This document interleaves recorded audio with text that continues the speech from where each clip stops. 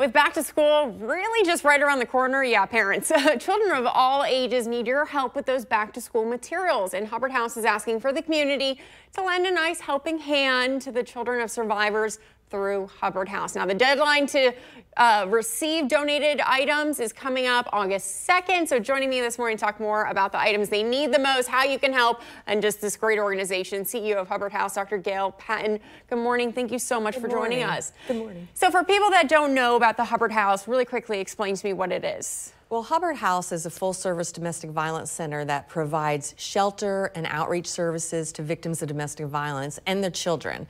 And we are every place you can imagine. We're in the courts, we're in schools, and of course, we have that shelter for those people who are at greatest risk. And that need for the Hubbard House has not gone down during the pandemic.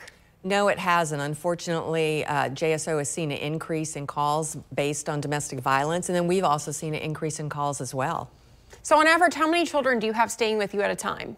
At the shelter, we have about 116 beds. In any given day, about half of those beds are filled with children.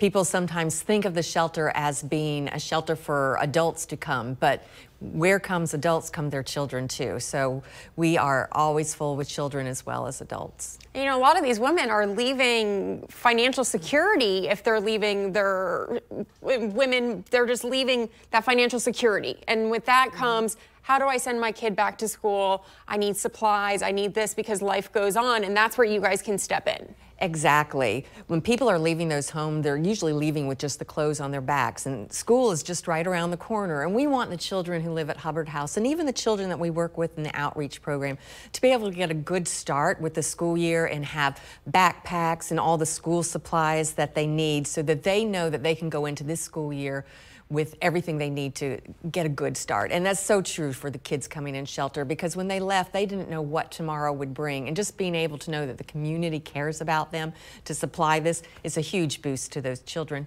and to the moms as well to see that. I mean, how hard is it already for those children having to leave their homes? I mean, can you imagine just being taken from your home and for a good reason, for safety, mm -hmm. but everything you know, everything that you identify with has now been changed. You're in a new school, you have new friends, you have new teachers, and so to be able to have something that says the community cares, to be able to know that you'll have all the supplies you need for school, because all of us know if we have children, we get this long list mm -hmm. of mm-hmm. supplies that we need to get for our kids.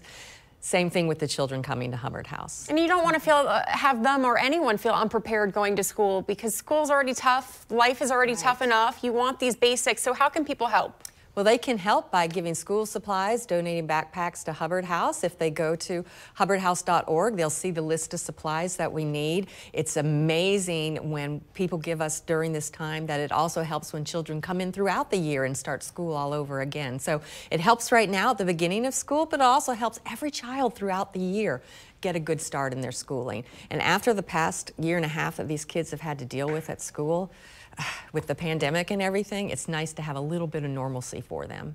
Once again, where can people donate and uh, what's the easiest way to donate? If they go to hubbardhouse.org, they'll see how they can donate. And if they email development at hubbardhouse.org, we'll tell you how you can drop off those materials. Dr. Gail Patin, thank you so much for joining us this morning. Thank you. All right, we'll be right back.